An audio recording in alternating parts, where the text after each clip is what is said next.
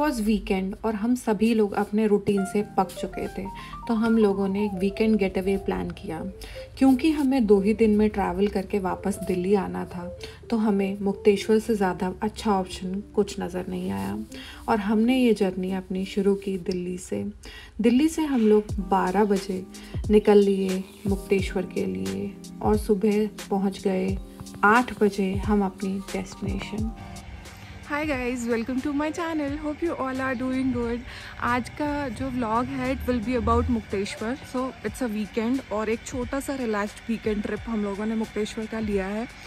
तो अभी हम पहुँच चुके हैं उस प्रॉपर्टी पे जहाँ पर हम स्टे करने वाले हैं। Let me show you the property और उसके बाद से मैं आपको अंदर का टूर भी दूँगी। This is actually the place we are staying at. Its name is I guess Krishna Orchid Resorts. And that's how it looks. Very nice, very decent.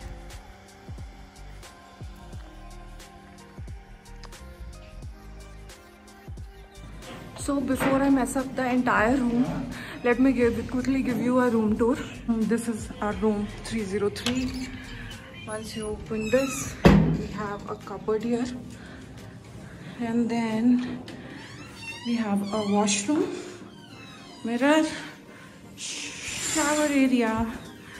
And then we have again another mirror and our luggage, TV, study table, sitting area, our bed, and then we have the most beautiful part. Once we open this, we have a balcony here. The best part of the entire place, and from here you get the best view. and the Himalayan peaks are visible from here. There.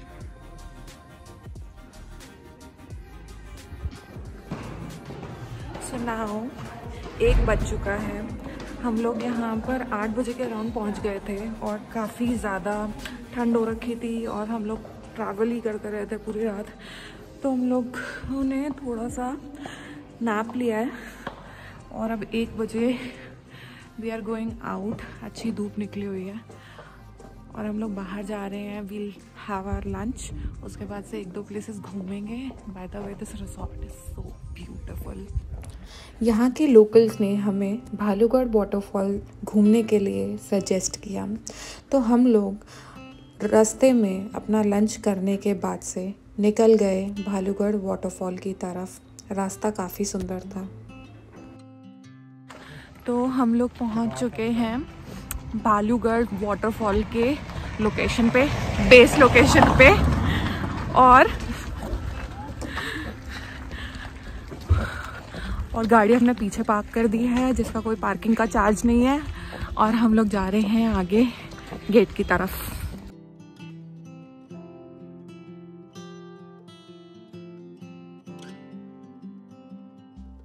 यहाँ पे लग रहा है पचास रुपए का entry charge और ये है वाटरफॉल का रास्ता।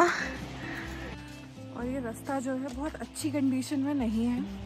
तो आप अपने कंफर्टेबल शूज़ पहने इस रास्ते पे तो आपको ज़्यादा सही रहेगा। I would say preferably sports shoes it is exhausting I mean these 1200 meters are the steepest I've ever climbed.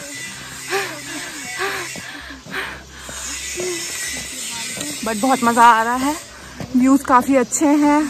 ठंडा सा वेदर है। And we are enjoying it a lot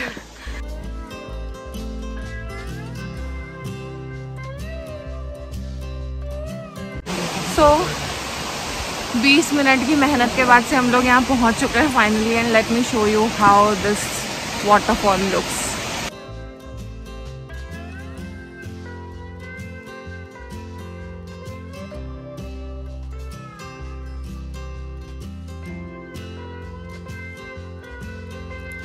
waterfall पे आधा घंटा बिताने के बाद से हम लोग वापस निकल पड़े रिसोर्ट की तरफ़।